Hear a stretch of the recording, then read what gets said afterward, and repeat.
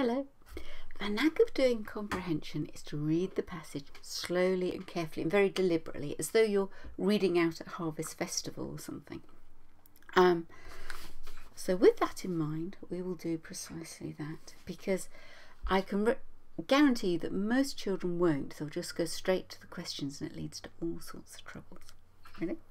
Off we go. Dancing etiquette. Golden rules that must be observed. Always read the title. Um, quite often there's a clue in there for one of the questions. If you happen to have chosen a partner who is an indifferent dancer, don't go out of your way to make the fact apparent to your immediate friends and to everybody who happens to be looking. This applies to both sexes. Although it may be hard to believe, people frequently do indicate by grimaces and winks that they have chosen an inexperienced partner, although such a course of conduct is a piece of unutterable rudeness. It has been even been known. See what I mean? I tripped. Don't worry, go back to the beginning of the sentence. It's uh, no one's giving you marks for reading out loud, but they are giving you marks for whether you understood it. So, if you feel you've tripped in your head, go back. It has even been known for a girl, and occasionally a man, to desert a partner in the middle of the floor and walk away with some excuse. Surely one of the most terrible exhibitions of boorishness imaginable. Hear, hear.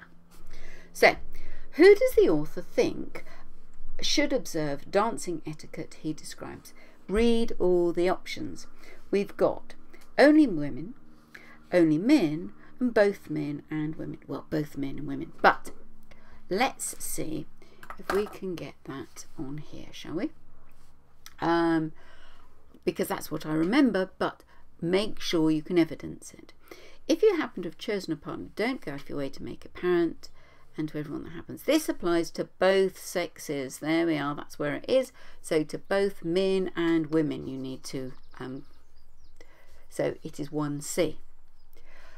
The word indifferent, as used in the passage, means. Now let's find it as used in the passage. That is um, very important. So let's what are we looking? Aha. An indifferent dancer. Uh, what happens if you've chosen a partner who is an indifferent dancer? It means not very good, bit rubbish, um, not great. So let's see which of these fits. A similar dancer, well, that's not going to work, is it? A different dancer, no. Um, not very good, that's the one. We'll just read the others just in case. Not very intelligent, neither here nor there.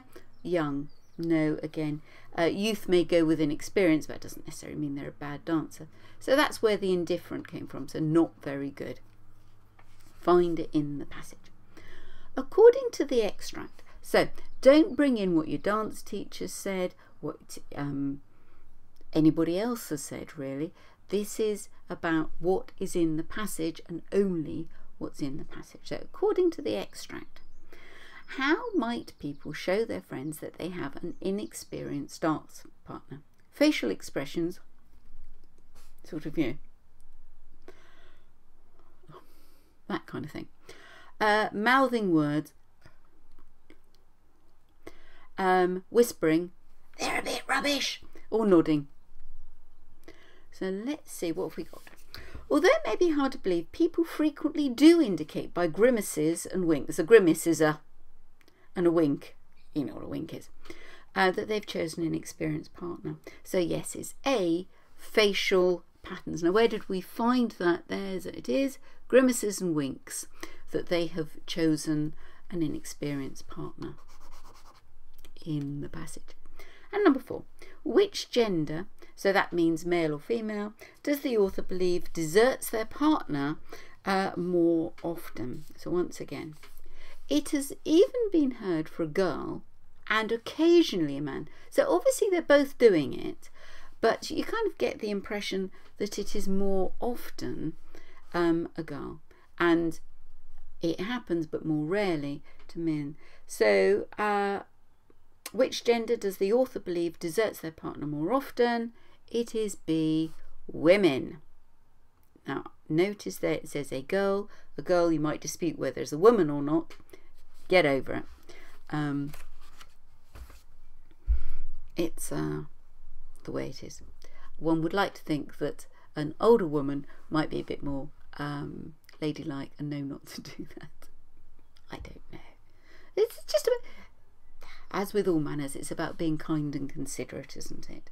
And if you've got yourself a real duffer, graciously go through, and everybody will think, wasn't that nice? They had a rubbish partner, but they treated them um, with such courtesy and allowed their partner, who was a bit rubbish, to leave with dignity. If you treat them rudely, who's going to everyone they'll say well they're rubbish dancers but they were really rude. That's not nice is it? See what i mean? The dancing doesn't matter your manners does. So evidence base everything when it comes to comprehension. You should be able to point to say that's where i found the answer. It's not a memory test and it's not a test of, of general knowledge bye bye